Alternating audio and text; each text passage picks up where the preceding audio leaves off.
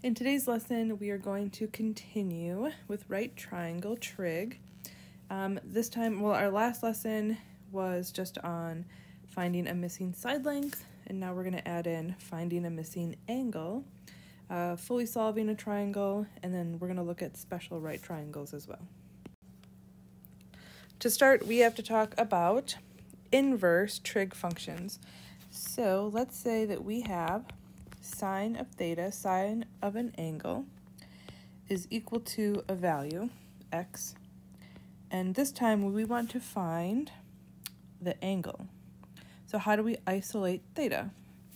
So just like anytime you're solving an equation, you're using inverse operations. So if we take the inverse sine, sine to the power of negative 1 like that,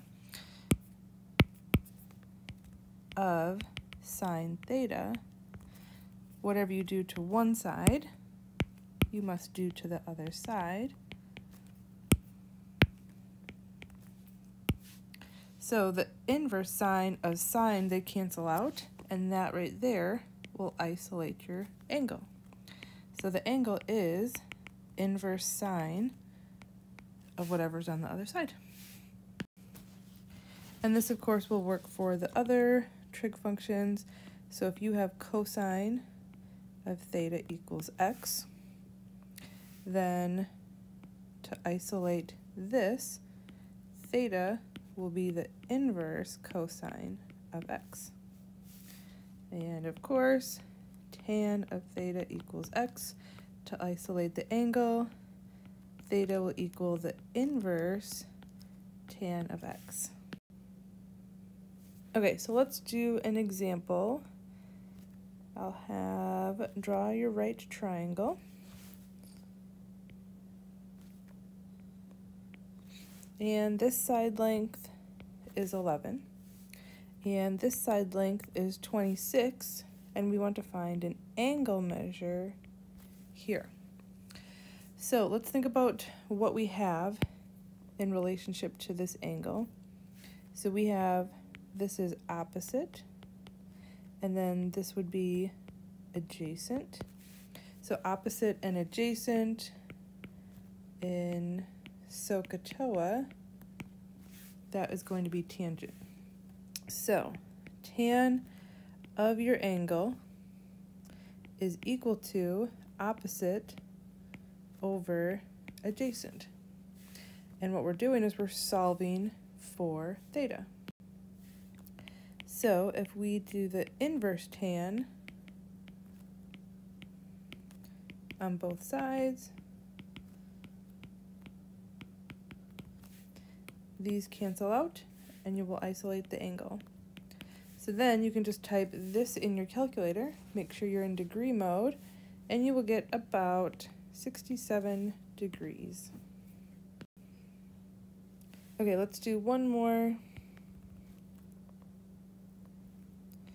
There's my right angle, triangle. This side length is 5. This one is 12. And we want to find this angle measure right here. Okay, what do we have that's in relationship to the angle? We have adjacent. And then this is across from the right angle, so we have hypotenuse. So adjacent and hypotenuse, that is cosine cosine of theta equals 5 over 12. So to isolate this, we'll just take the inverse cosine of 5 twelfths. And when you do that, you will get about 65 degrees. Okay, in this next example, we're going to solve the triangle. Solving the triangle means we need to find all missing side lengths and all missing angles. Um, so for this triangle, I'm going to label this. This is angle, angle A, and directly across from angle A will be side length A. This can be angle B, and directly across there's side length B. The right angle can be C, and across from that will be side length C. So we have a lot of options on where we can start. I'm going to start with this angle. I know this angle and I know it's a 90 degrees. 90 plus 35 plus angle B, three angles of a triangle have to add up to 180. So then B is going to be 55. And now to find one of our side lengths, we have lots of choices. We could solve for A first or solve for C first, and we could either use the 55 angle or the 35. Um, I'm going to use, I'm going to find A first, and I'm going to use the 35 degree angle. So there I have opposite and I have adjacent. So I'm going to use tangent. So tan of 35 equals a over 10. So then A will equal 10 times tan 35, which that equals about 7. So A is about 7. All we have left now is to find C, and we have choices. We can use right triangle trig, or because it's a right triangle and I have two side lengths, you could also do the Pythagorean theorem. Totally doesn't matter. I'll do the Pythagorean theorem for this one. So 10 squared plus 7 squared equals c squared. When you solve that, you will get that c is about 12.2. So I've completely solved the triangle because all three angles and all three sides are solved. Okay, so here is the triangle. And I'm going to call this angle A, which means this will be side length A, angle B, side length B, angle C, side length C. Okay, we need to find all angles, all missing sides.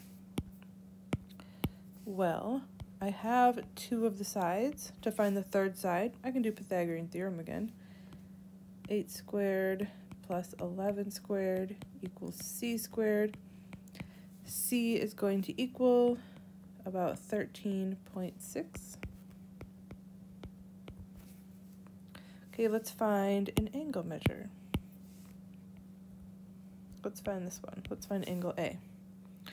So let's do tan. We can really use any of them because we have all three sides. But let's do tan of theta equals opposite 11 over 8 adjacent. So then therefore theta equals the inverse tan of 11 eighths. And when you do that, you're going to get 53.97 angle measures. I like to just round to the nearest whole number, so 54. And then we just have one more angle to find. You can do trig to find that angle, or we can also just remember 9, 90 plus 54 plus B has to equal 180. So that angle B will be 36 degrees. So there is the full video on completely solving a triangle. Simply just means um, we're using different theorems and some right triangle trig to find all side lengths and all angles. Good luck with the lesson.